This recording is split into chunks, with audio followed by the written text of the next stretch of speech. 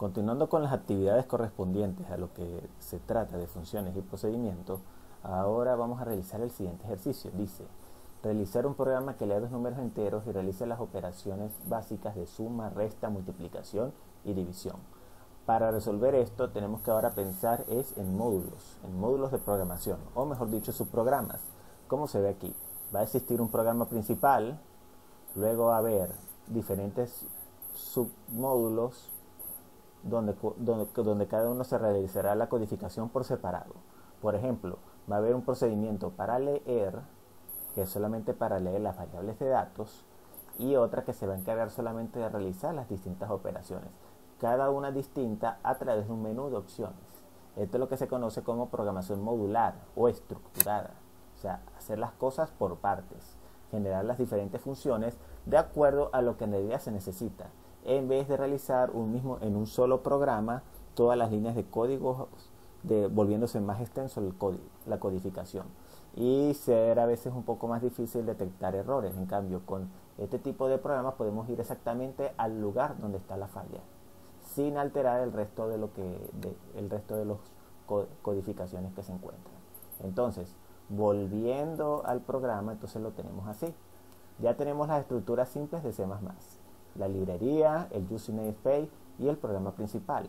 Hay un programa principal y un programa este, este, eh, que son lo que va a estar fuera que corresponde a los procedimientos.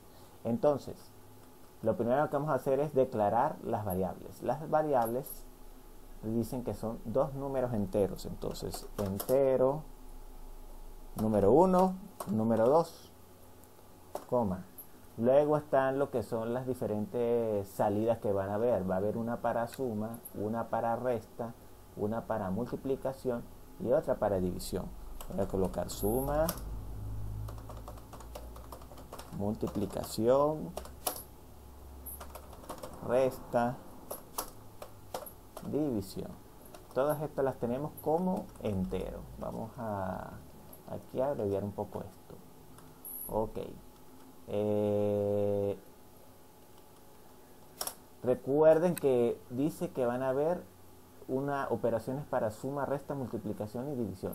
Entonces, quiere decir que vamos a trabajar con cuatro subrutinas o módulos.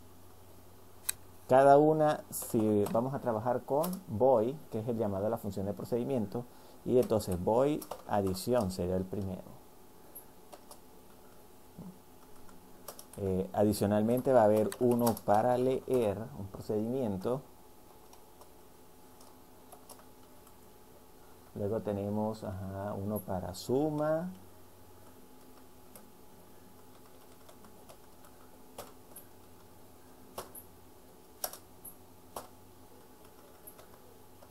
Otro para resta, sustracción. Otro para multiplicación, voy a llamarlo producto, y el último para división. Ok, de esta manera tenemos este, las diferentes formas con las que vamos a trabajar. Eh, también podríamos simplificar un poco este código, pero como, como es la primera clase correspondiente a procedimiento, vamos a trabajarlo de esta, de esta manera. Pero hay otras formas de mejorar mucho el programa que se va a realizar. Entonces, se hacen llamados los distintos procedimientos. Se declaran las variables antes de, antes de poderse ejecutar en el programa principal. Entonces ya tenemos cada una. Lo primero que vamos a hacer es el procedimiento que corresponde a leer datos. Entonces voy a hacer el llamado. Esto se va a hacer antes de entrar al programa principal. Entonces voy, voy leer y como vamos a codificar lleva una llave de inicio y llave de cierre. ¿Qué va a ir aquí? Va a ir lo que es pedir los datos eh, cuando el programa se vaya a ejecutar. Es decir, introducir el primer número y, e introducir el segundo. Entonces coloco co y pido la pregunta. Introduzca el primer número. Dos puntos coma, sin, y dijimos que va a ser N1. Ok. Luego vamos a pedir el segundo número. Introduzca el segundo número. Leer N2. Esto es solamente para pedir datos. Entonces, ¿cómo funciona esto? Simple. Ya creé una, ya las declaraciones están por fuera, son variables globales. Ok, ahora, este procedimiento va a trabajar en función de estas, de estas variables que están acá, n1 y n2. Uno para el número 1 y otro para el siguiente, para el siguiente número. Dentro del programa principal lo que se hace es el llamado al procedimiento, porque ya está hecho por fuera. Entonces coloco leer, hago el llamado. De esta forma se hace el llamado dentro del programa principal. Ahora vamos a ejecutar a ver qué ocurre. Por supuesto hay que guardar. Ejecutar, compilar. Ok. Me están diciendo que hay unos errores aquí este, en específico que tengo aquí co con 2t ok ya lo ejecuté falta es un símbolo del menor aquí y aquí la tengo también con t y me falta es que son dos símbolos de menor ahora aquí ya me está diciendo que hay cero errores entonces voy a ejecutar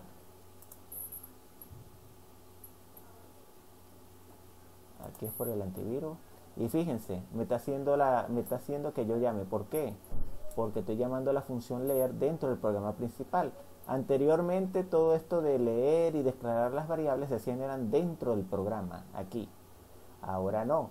Ahora yo creé una subrutina que yo puedo llamarlas las veces que yo quiera sin necesidad de yo que estar volviendo a escribir esa codificación.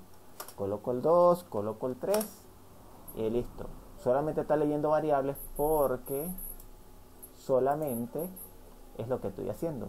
Pero nosotros vamos a hacer es otra cosa distinta aquí dentro del programa principal. Entonces por eso no vamos a necesitar por ahora la función leer. Ok. Lo que sabemos es que funciona. Entonces, ya creé un procedimiento que se llama leer. Así es como se crea. Eh, en algunos casos se coloca el return.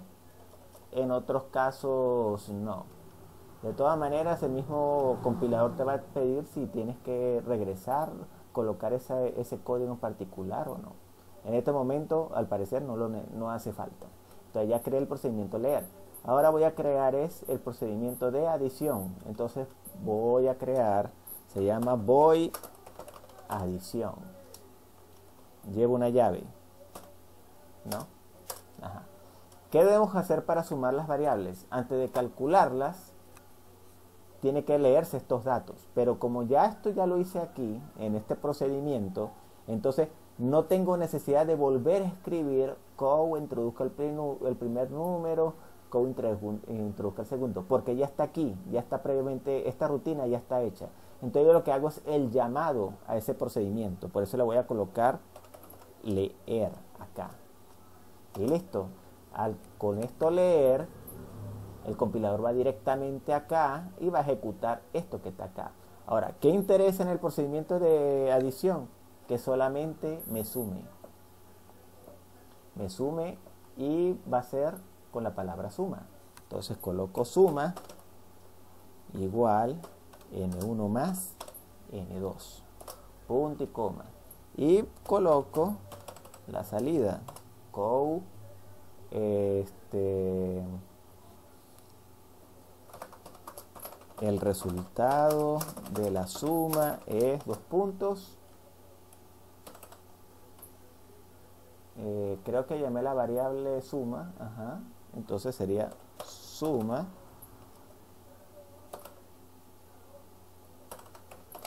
Fin de línea. Y listo, ya tengo esto acá. Entonces, ¿qué vamos a hacer en el programa principal? Vamos a trabajar con el switch Ok.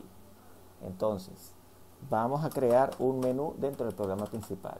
Es decir, este introduzca una de las siguientes operaciones aritméticas. Dos puntos. no hay que olvidarse de las comillas acá. Fin de línea. E NDL, punto y coma. Ok, y aquí más adelante le especifico al usuario cuáles son esas operaciones. Entonces, estoy diciendo que la opción 1 es suma. Fin de línea, punto y coma. Ok, y esto va entre comillas. Estamos creando es un menú de opciones.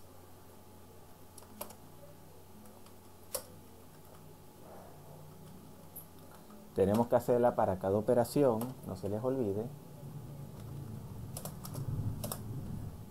Ahora la opción 2 es resta.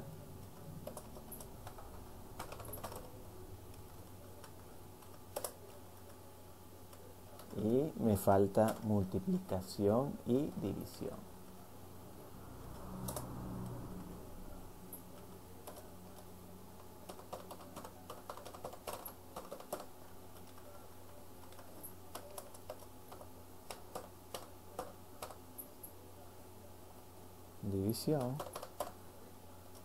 Ok, con esto ya tengo lo que es el, el mensaje.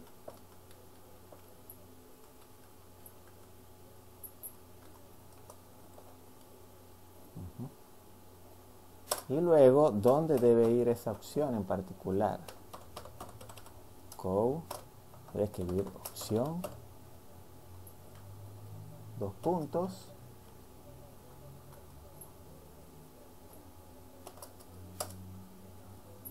y sí necesito una variable que me diga cuáles son esos números de esas opciones. Entonces aquí voy a declarar esta variable entero, opción, punto y coma, porque tiene que ser una opción del 1 al 4. Y entonces, sin opción. Quiere decir que cuando yo escoja la opción 1, esa es la que va a estar almacenada acá. Si escojo la opción 2 va a estar almacenada acá y después, depende de los casos, es que se realiza la operación. Ok, en la clase anterior se explicó sobre el uso del switch case. Bueno, ese es el que vamos a aplicar aquí para cada caso de opciones. Entonces coloco switch. Recuerden que la opción es switch y entre paréntesis va la variable que debe ser evaluada. En este caso la variable se llama opción. Y abro una llave y vamos con el case 1 que es para suma. Y entonces aquí en este caso ¿qué va a pasar cuando es el caso 1? bueno si es suma aquí en vez de realizar estas operaciones que se hacían acá no porque ya eso ya está previamente ya hecho aquí afuera. Entonces lo que voy a hacer es hago el llamado a ese procedimiento. El procedimiento se llama adición. Entonces ese es el nombre que debe llevar aquí. Opción punto y coma y luego el brick y listo ya tengo ya tengo ese caso. Por supuesto como no tengo los demás casos voy a colocar default que es para opciones que no tienen nada que ver con esto. Y aquí va a haber un code que me va a decir opción incorrecta coloco por estética el fin de línea y listo. Ya tengo aquí ya ya esta parte.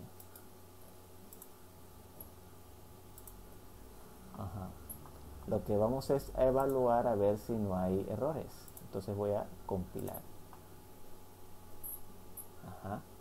Al parecer no hay errores. Entonces si yo ejecutara esto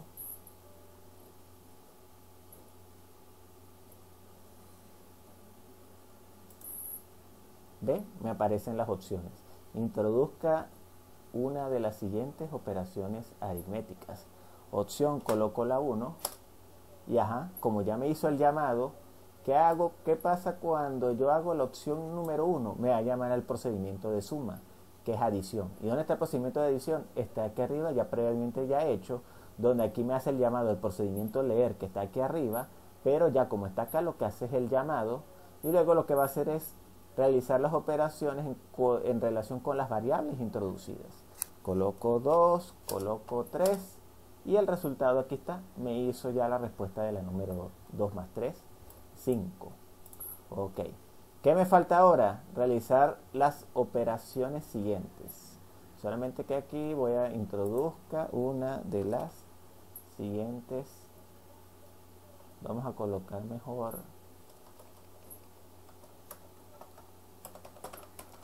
seleccione la operación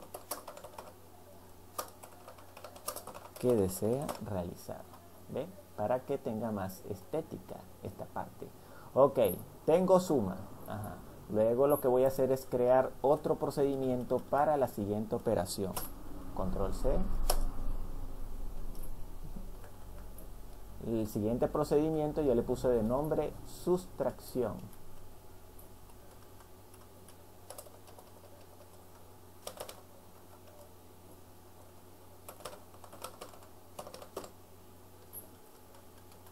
De igual forma hago el llamado a leer, pero la operación ahora es una resta. Entonces coloco resta y coloco n1 menos n2.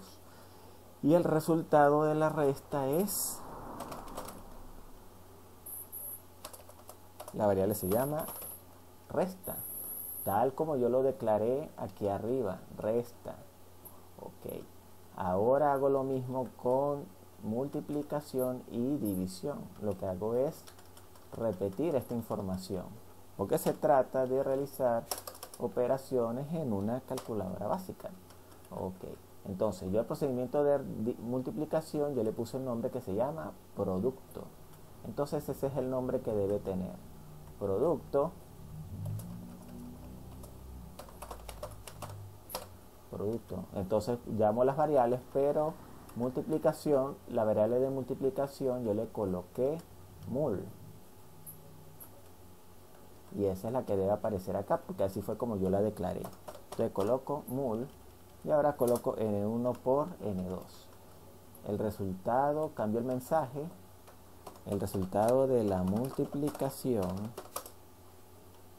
es la variable de salida se llama mul. Y la otra la cuarta se llama división hago leer, la variable yo la llamé diff, como está aquí arriba. Hay que tomarse en cuenta las variables. Diff, ok. Y sería diff n1 entre n2. Co el resultado de la división es diff. Listo, ya tengo esto, ya creé el menú en el programa principal, lo que me falta es hacer el llamado a cada operación. Entonces son cuatro casos. Control C.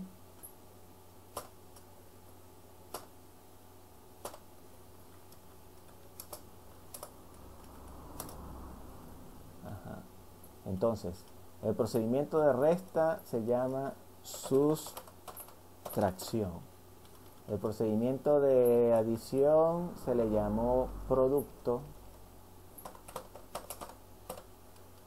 y el procedimiento de la división se llamó como su nombre lo dice. División. Ok. Entonces y el de foul ahora estos son casos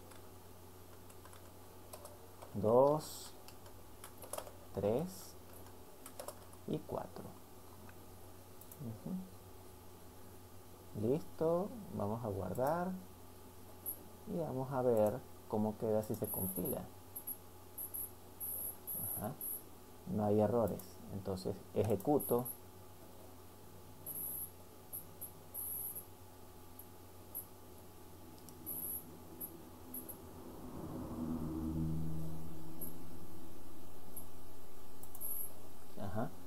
tengo el menú acá. Entonces, por ejemplo, voy a escoger, voy a seleccionar la opción 4, división. Introduzco el primer número, el primer número 3, voy a colocar 4 Y ahí está, la división es, el resultado de la división es cero. ¿Por qué cero? Porque no me está este, tomando en cuenta los decimales. Que ya es otra cosa que veremos más adelante.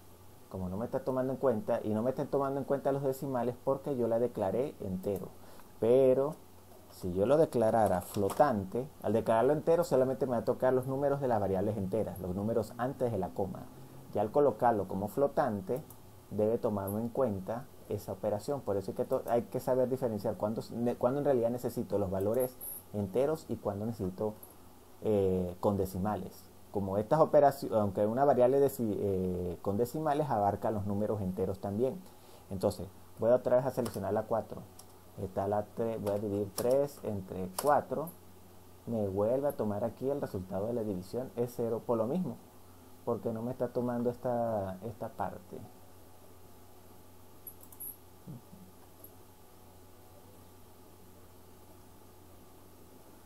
Ok, pero en términos generales, este, funciona, funciona la, la operación.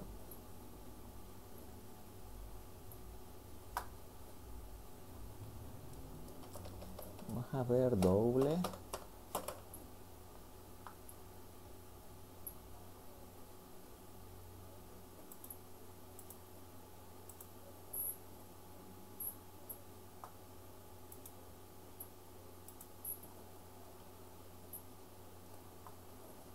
Esperar aquí